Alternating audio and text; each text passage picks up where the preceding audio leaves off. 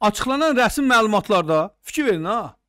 Burada elə şeylər var ki, vallahi adam oxuyanda dəhşətə gəlir. Yəni deyirsən ki, bu hökumət niyə buna göz yumur? Niyə yummalıdır axı?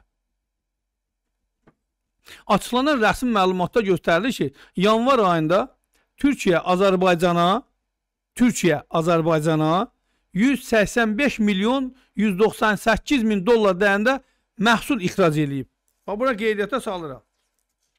Türkiyədən Türkiyədən 185 milyon.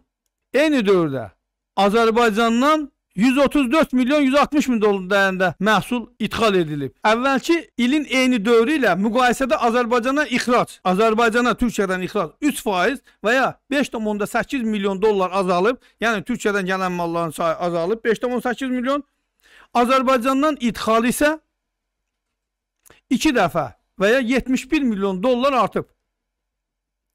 Məlumat üçün onu bildirək ki, əvvəllər olduğu kimi yenə də Azərbaycan Dövlət Gömrük Komitəsinin bu ilin yanvar ayı üçün açıqladığı analoji məlumatlar Türkiyənin rəsmi qurumları tərəfindən açıqlanan məlumatlardan kəskin fərqlənir. Fikir verin. Rəqəmlərə baxın. E? Bu necə ola bilər ki? Belə ki, Dövlət Gömrük Komitəsi bu ilin yanvar ayında Türkiyəyə 305 milyon dollar dəyərində məhsul ixrac olunduğunu açıqlayıb.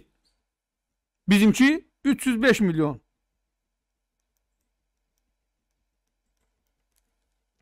Halbuki Türkiyə tərəfi eyni dövrdə Azərbaycandan 134 milyon dollarlıq məhsul idxal etdiklərini açıqlayıb.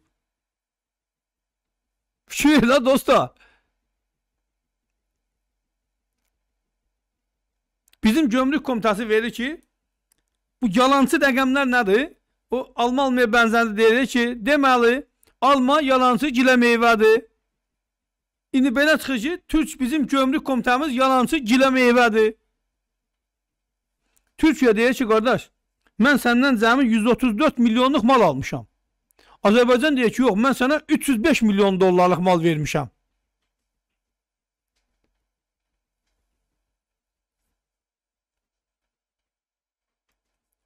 Bu bir.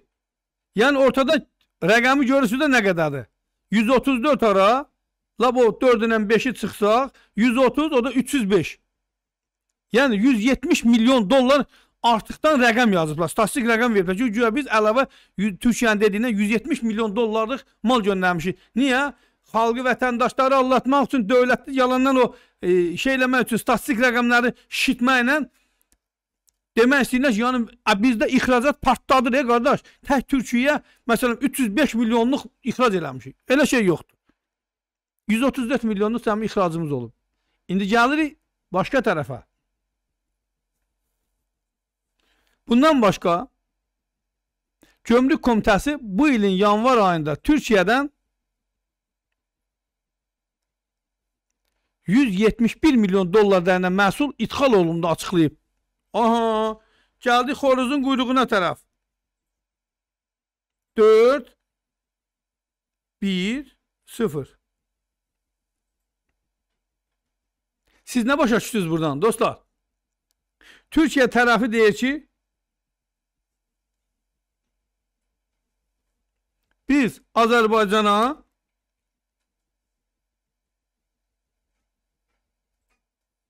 100 85 milyonluq mal göndərmişik. Baxın, Türkiyə rəsmi məlumat verir ki, mən Azərbaycana 185 milyonluq mal göndərmişəm. Gömrüyümdən çıxıb. Amma Azərbaycan gömrüyü deyir ki, yox. Mənim gömrüyümə girən mal, malın dəyəri cəmi 171 milyondur. Ortada 14 milyon dollar yoxdur. Gömrük komitəsi bunu açıqlama vermir. Ortada 14 milyon dolar itip ya gömrükten yayındırılıp ya da bir başka mesele var burada. Deməli bir məsələ odur elə. Əgər Türkiyənin verdiyi rəqəmlərlə bizim rəqəmlər arasında 14 milyon fərq yaranırsa, həmin 14 milyon deməli bizim gömrük komitəsində rəsmiləşdirilməyib. vaxtı ilə, bəlkə də indi də yaşıl xətt deyilən gömrükdə belə bir xətt var. Yaşıl xətt. Bu yaşıl xətt kimlərə aiddir? Yuxarılardan tapşırılanlara aiddir ki, o adamlar ki, həmin adamlar gətirdiyi malı gömrük rüsumu ödəmirlər. Yəni gömrük rüsumundan azad olunurlar onlar. Ona görə də bəzən bəzən görürsən ki, mallar arasında kəskin qiymət fərqi yaranır və yaxud da baxırsan ki, eyni malı gətirən adam biri qısa müddətdə milyoner olur, biri elə sürünə-sürünə gedir. Bax bundan dolayı da o 14 milyonu kimlərinsə arasında bunlar bölürlər, həzm rabedən ya Allah keçidirlər, gedir.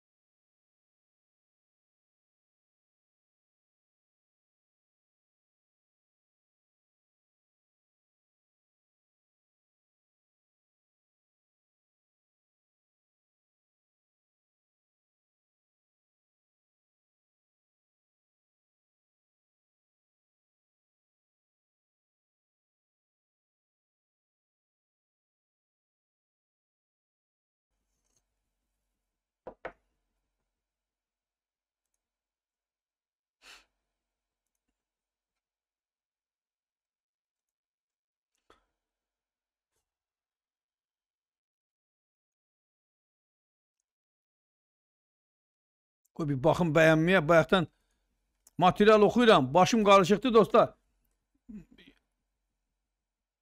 Şəmkirlər pomidoru Dağıstanda əhməyə başlayıblar. Çünki imkan verilmir, təbliğat deyil. Bəli, mən bunu Mehriban xanımı efirimə çıxardanda bir jurnalist xanımdır Mehriban xanım, Gəncədəndir. Mehriban xanım burada dedi.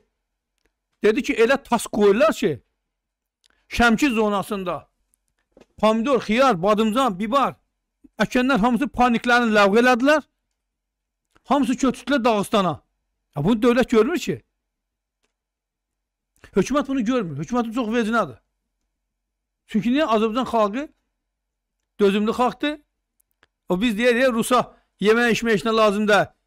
Allah versin xiyar turşusu 100 qram araq. Biz buna dönmüş ya kişi. Bu günlərim Rus xalqı kimi biz də artıq alkoqolik kimi, yəni biz yetinirik. Deyirik ki, bəhsimizdir. Bu yekətdə bir xiyar turşusu versinlər, 100 qram da araq bəhsimizdir. Qardaş, bizə adı şey lazımdır. Bu gün biz bu vəziyyətdəyik. Ölkə bu vəziyyətdədir. Fakt göz qabağındadır. Bir dılğır Ermənistan az qala 4 dəfə, 5 dəfə səndən çox ixrac edir. Sənin 4 dəfə böyük olduğun bir dövlət. İşğalda işğaldan qovaladığın dövlət. Ordusunu darmadağın dağıtdığın bir dövlət qundarma bir dövlət, sənin qabırğandan birini çıxardıb orada dövlət yaradıblar. O dövlət səndən 4 dəfə, 5 dəfə artıq ixrac edir.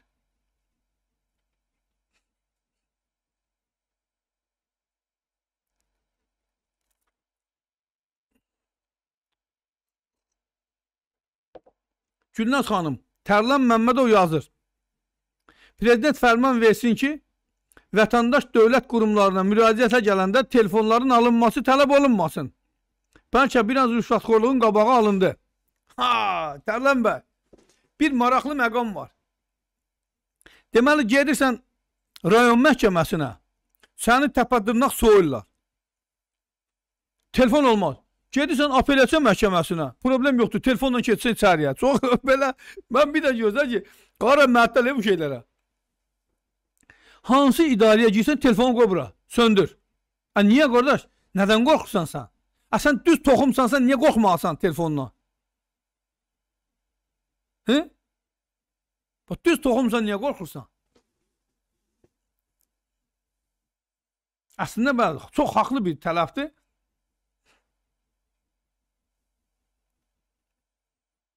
Təbliğat bəy yazır ki, Qarabağda tikilən evlərin qiyməti 2 dəfədən çox şişirdilir. Eşitdiyimə görə bir ev 160 minə başa gəlir. Təbliğat bəy, sən düz eşitmirsən qardaş. Bizim evlər Qarabağdakı bu bursa evlərdən deyil, onlar ağırlı evdirlər. Ağırlı ev olduğuna görə 160 minə başa gəlir.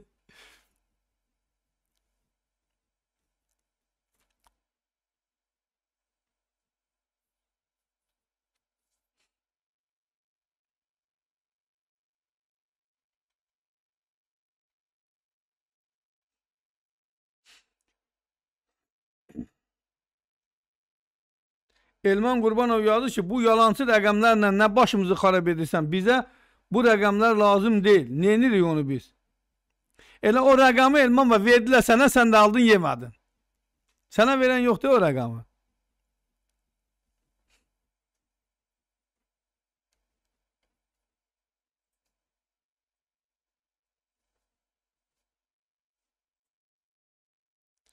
Əmirxan deyir, Rusu niyə elə alçaldırsan? Rusu elə şaka sala Bakını bal elədi. Başa çıxmadım nə deməkdir. İbrahim Fəthullah yazır nə qədər ki, hökumətin məsləhətçiləri yahudilər olacaq, bizə güzaran olmayacaq.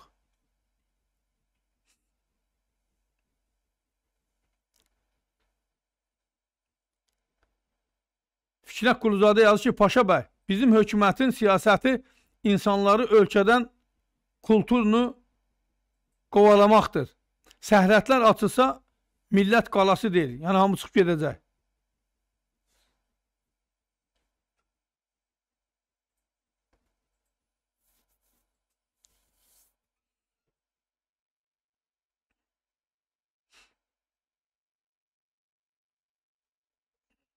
Hı? Nə olur? Qoşula bilmir qalsın bazar gününə, problem yoxdur. O bəyənmə işarəsini vuraq dostlar. Bəyənmə işarəsini vuraq. İndi bir sizin diqqətinə bir material oxuyacağam. Burada deməli yüksəklikdə yerləşən Səhrət zastavası. Bunu niyə oxuyacağam, onu da deyəcəm sizə. Elnur onun şəklini qoysun, o zastavamızın şəklini qoysun, qoy hər kəs görsün ki, Azərbaycan zabiti, Azərbaycan əskəri harda qulluq eləyir. Fevral ayının 28-də Dövlət Sərhəd Xidmətinin sərhəd qoşunlarının Lənkəran sərhəd dəstəsinin xidməti ərazisində dəniz səviyyəsindən 1867 metr yüksəkdə yerləşən Sim sərhəd zastavası əsaslı təmin edilərək xidməti istifadəyə verilib. Dəniz səviyyəsindən 1867 metr insan yaşamayan, canavar ulaşan, ayı gəzən, pələng gəzən bir yer. Dövlət Sərhəd Xidmətinin rəisi general polkovnik Elçin Quliyevin təbrikini Dövlət Sərhəd Xidməti rəisinin mavini Sərhəd qoşunlarının komandanı general leytenant Araz Məmmədov şəxsi heyətə çatdırıb. Çox gözəl, əla, ləzzət. Ha, indi gəlirəm, bunu niyə oxudum? Niyə oxudum bunu? Bir sual verirəm hər kəsə. Bu zastavada xidmət eləyənlərin, istər sizin, istər mənim, dədəmə, anama, qohum əqrabama, tayfama, toluğuma borcu varmı? Yox, yoxdur. Hə, indi bəziləri deyəcək ki, biz onları məcbur eləməmişik ki, getsinlər orada işləsinlər. Amma bu peşə elə bir peşədir ki, bu hərbiçi peşəsi. Necə, necə ki, məsələn, o rəhmətli Kamil e, nə evidir? Qaboyçu Kamil deyirlər. E, familiyası yadından çıxıb. Kamil nəm nə evidir familiyası? Deyirdi ki, məni atam döyürdü ki, oxu, musiqiçi olma, mən uşaq idim deyə gedərdim. Bizim bir padvalımız var idi. Girirdim padvala, qapını örtürdüm. Demək, taxtadan demək, simləri düzürdüm, tar düzəldirdim, orada çalırdım. Və yaxud da elə peşələr var ki, baxırsan ki, orada heç kəs işləməz, amma bunlar işləyirlər. Bu hərbiçi də belə bir şeydir. Bunu sevməsən, orada işləyə bilməzsən. Bunlar onu sevirlər. Amma sən onu o peşə sevdiyinə görə minməli deyilsən ki, düzdürmü? 1800 neçə metr yüksəklikdə sənin sərhədini qoruyur. Qarın, soğuğunun, soyuğun, qışın, nə bilim, nəyin içində.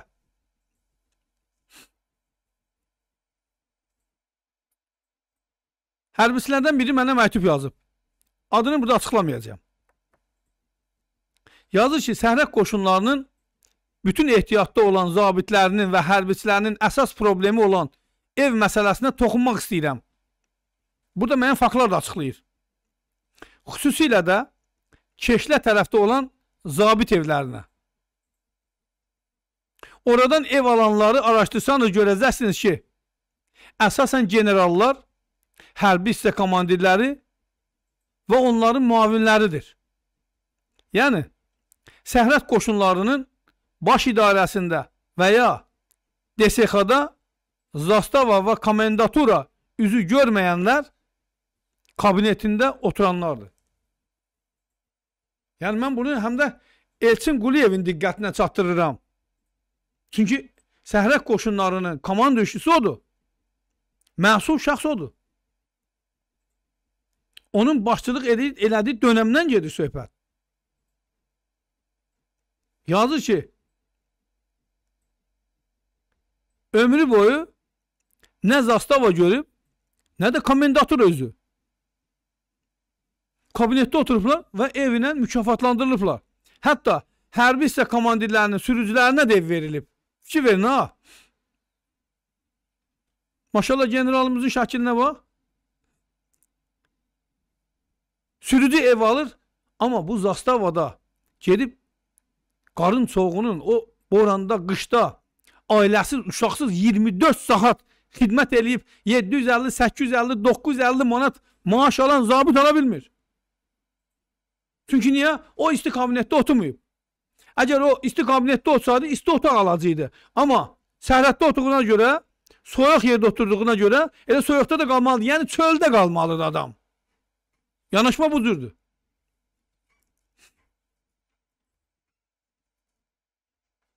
Eşitdiyimə görə idarədə 5-10 il xidmət etmiş maxey qadın hərbi qulluqçulardan da ev alanlar var. Hətta vaxtilə səhrək qoşunlarında xidmət etmiş hal-hazırda bu quruma heç bir aidiyyatı olmayan Dövlət Miqrasiya Xidmətinin rəis müavini general Elman Əliyevin də orada evi var. Hansı ki o ev o evi alanda artıq səhrək qoşunlarında xidmət etmirdi. Ancaq 20-25 il səhrətdə can qoyan, ehtiyatda olan zabitlər bu gün də kirayələrdə yaşayırlar. Bu çox ciddi məsələdir. Səhrək qoşunlarının zabitlərinin küçədə qalma məsələsi, evsizlik məsələsi çox ciddi məsələdir. Hansı ki, Müdafiə Nazirliyindən fərqli olaraq səhrək qoşunları brakonyerlərə qarşı əməliyyatlarda kifayət qədər ciddi nailiyyətlər əldə edirlər. Narkotik daşıyanlara qarşı, məsələn, mən aldığım məlumata görə o gün desəm yaymışdılar. 100 neçə kilo desəm narkotik tutmuşdular. Kifayət qədər ciddi bir rəqamıdır. Əməliyyatçılar çox yaxşı bir şey görmüşdülər. Sərhəd xidmətlərində sərhəddən, Rusiya sərhədindən gecələr tırlarla, kamazlarla daha doğrusu gətirilən siqaretləri tuturlar, onu bunu yəni kifayət qədər dövlətin büdcəsinə xeyir verirlər, e bunlar. Amma bunlar evsizdirlər. Müdafiə Nazirliyindən fərqli olaraq. İndi isə Həzi Aslanov metrosunun yanındakı evlərə diqqət eləyək. Bayaq Keşlədən danışırdı. Həmin evləri də əvvəlcə eyni qaydada öz adamlarına və yuxarıda göstərdiyim xüsusi kateqoriyalı hərbiçilərə verdilər. Daha sonra təxminən 2016-2017-ci illərdə hərbi hissələrə cədvəl. Baxın, görün nə baş verib burada. Bu artıq o uca sözünü dedim, üzrü sayın. Bu artıq tamam başqa mətləblərdən xəbər verir dostlar. Mən iddia eləmirəm. Yazılanı oxuyuram. Amma araşdırılarsa bu iddia təsdiqini taparsa çox ciddi şəkildə bir korrupsiyanın, rüşvət şeyin üstünə açarıq biz. 2016-2017-ci illərdə hərbi hissələrə cədvəl, yəni 1, 2, 3 və 4 otaqlı evlərin siyahısı göndərildi. Onların ilkin ödənişi və aylıq ödənişləri ayrı-ayrılıqda qeyd olunurdu. Ödənişi 20 ilə bölmüşdülər. Səhv etmirəmsə, son yaş həddi də 62 götürülmüşdü ki, həmin müddətə kimi pul bağlansın. Hər hansı bir hərbi qulluqçu avtomatik olaraq hesablayırdı ki, neçə yaşım var? 62, 62 yaş yaşa neçə il qalıb? Aya təxminən nə qədər pul ödəməliyəm? Kim razı olurdusa, müraciət edirdi, çağırırdılar Bakıya, baş idarəyə.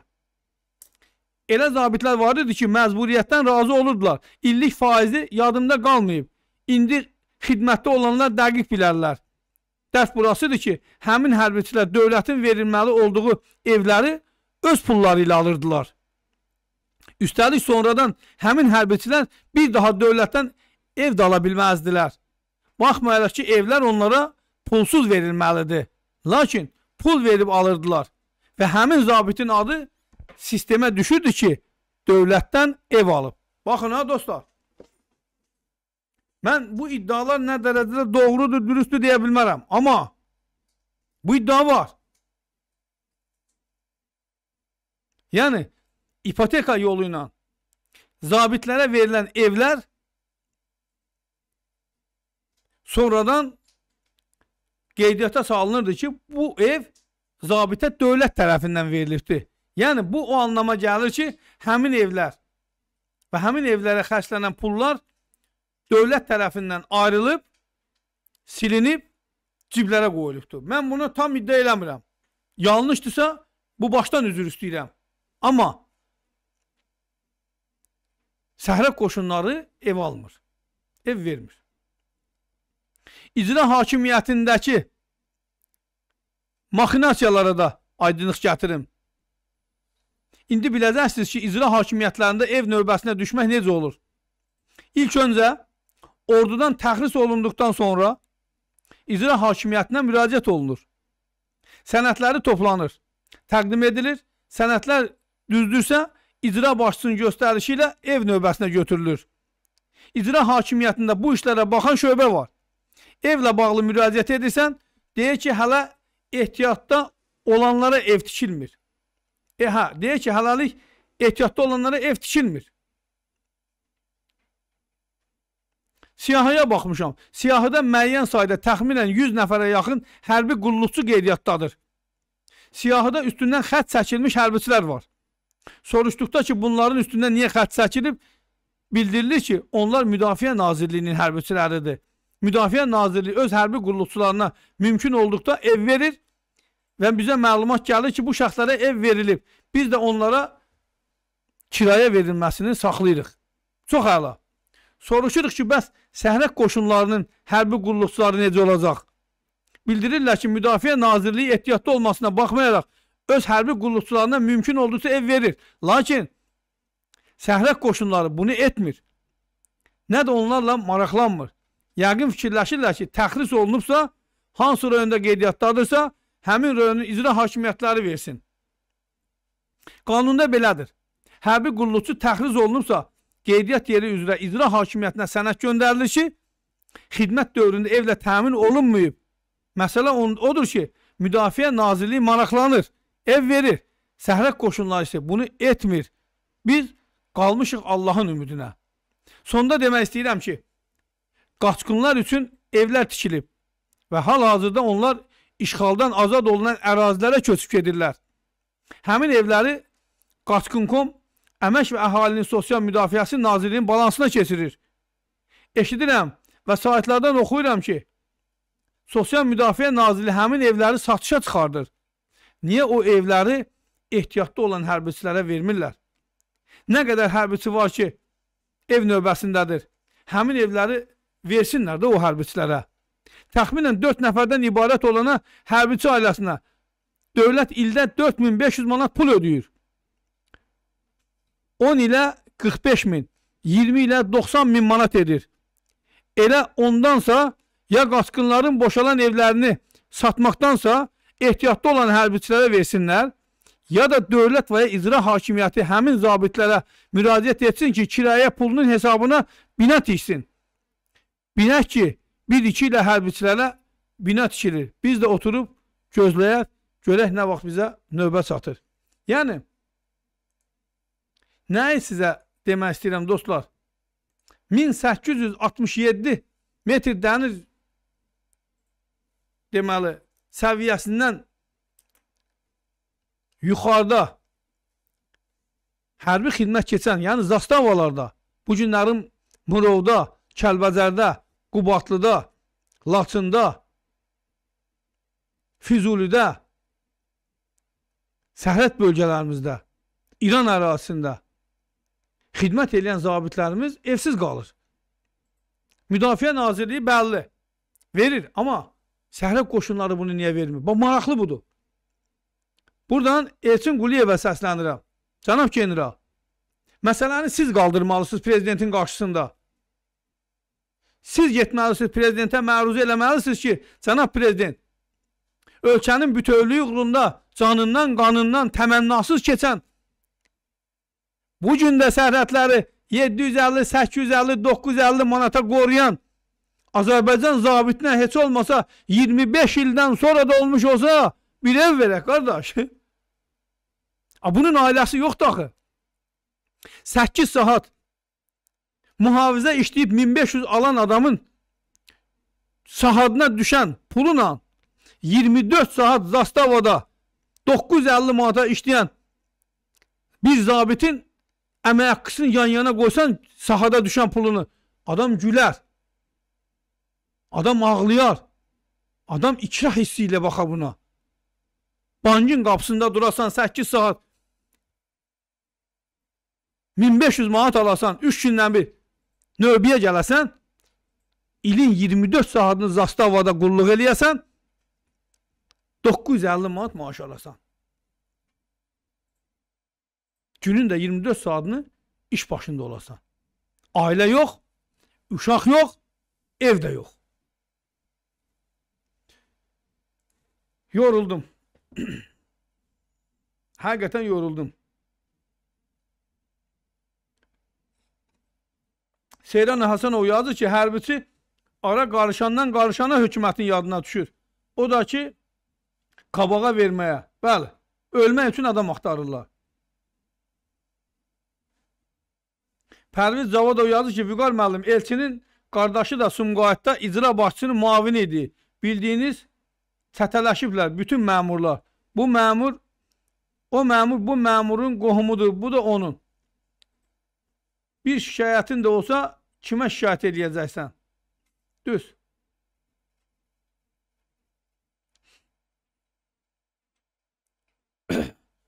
Mənim sizdən bir xahişim var. Deməli 540 bəyənməmiz var. 600 elən verilişimizi qutaraq. Olar? Bir dənə zəhmət olmasa hamısı, hamı dayansın, pultu götürsün əlinə, telefonunu aşağı hissəsini qaldırsın, bəyənmə işarəsi var. O işarəni vursun 600-ə. Vallahi billahi boğazım deşilir. Bax bu dəqiqə bu damarlarım partlayır az qala. Çünki özümdən aslı olmadan qeyz ilə danışıram, əsəbi danışıram. Allah bu müharibənin bəlasını versin. Bu müharibədən də bizə bu qaldı hədiyyə.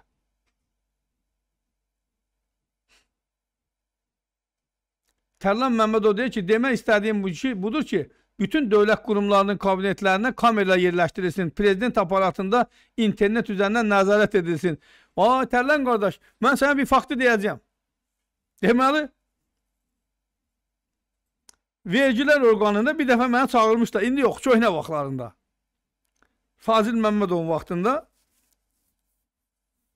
Getdim, deməli, çöldə qiyməti danışdıq, sonra keçdik rəisin otağına. Rəis mənə kalkulyatorda belə-belə yazır ki, 15 min pul verəsən. Mən də kalkulyatorla yazıram ki, yox, 5 min. o yazır ki, yox, 15 min.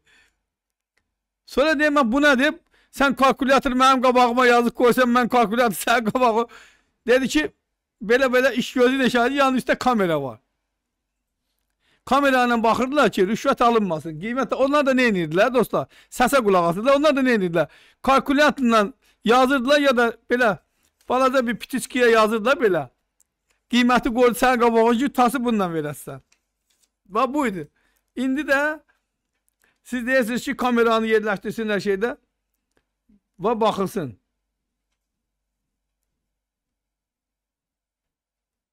İlkin Rızayev yazdı ki, SSR vaxtı Sibirdə, Saxalində, qardaş, sən Kamçatkada zabit gizi 12 il işləyirdi və təqaüdə çıxırdı. Və SSR-nin istənilən şəhərində öz istəyi ilə ona ev verilirdi. Dövlət. Qardaş, sən niyə gedib çıxıbsan ki, Sibirdə, Saxalinə? Naxçıvan de də sən. Naxçıvanda bir, bir yarım sahildir. Naxçıvanlılara sahilmirdi, ha? Azərbaycanlılara sahilmirdi. Rus zabitlərinə Naxçıvanda gəlib qulluq eləyirdilərsə, staj birə bir yarım yazılırdı. Yəni onların akladı da bir yarımıdır. Gedib Saxalinə çıxma. Mən Saxalində də əsgərlikdə olmuşam. Yəni onu da deyim, o mecdu proçim deyim. Bəli, orada bir bir yarımdır. O uzağa getmə. Naxçıvan. Gözümüzün qabağında. 15 bəyənməmiz qaldı. Xahiş edirəm. 15 bəyənməni də vurun, mən qutarım verilişimi.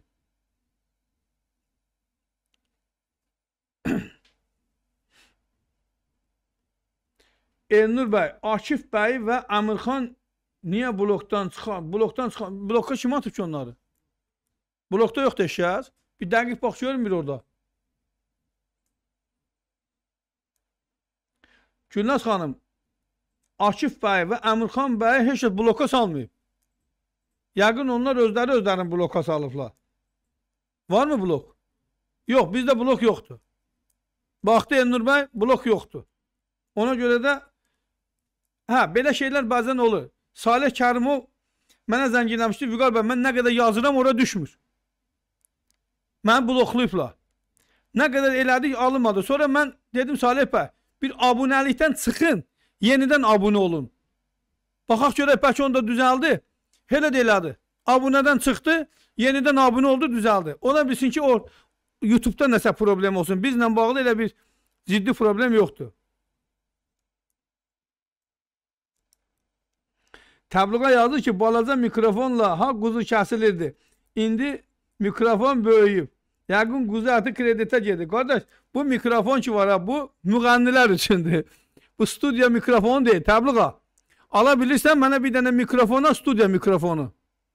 Göndərcilən qaşan qardaşın da burada olsun. Ləzzətinə oxusun. Bu e, müğənnilər üçündür.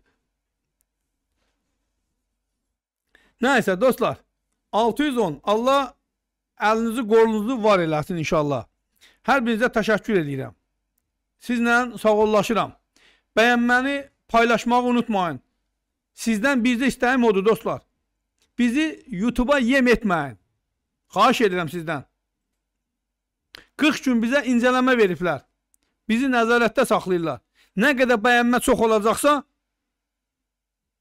nə qədər bəyənmə çox olacaqsa, bir o qədər bizi YouTube önərəcəkdir. Yəni ön plana çıxardacaqdır. Askıya almayacaq, arxa plana keçirtməyəcəkdir. Ona görə də sizdən bir xahişim və bir tələbim var. Bəyənməni və paylaşmağı unutmayın. Sağ olun, sağlıqla qalın, Allaha əmanət olun. Allah qoysa sabahlarım 14.00-da cümə söhbətində görüşmə ümidi ilə sizdən ayrılıram. Bir daha bir şey deyim. İki bazar günüdür hüzür yerinə gedirəm. Bir Gəncədə bir yaxınımız rəhmətə getmişdi.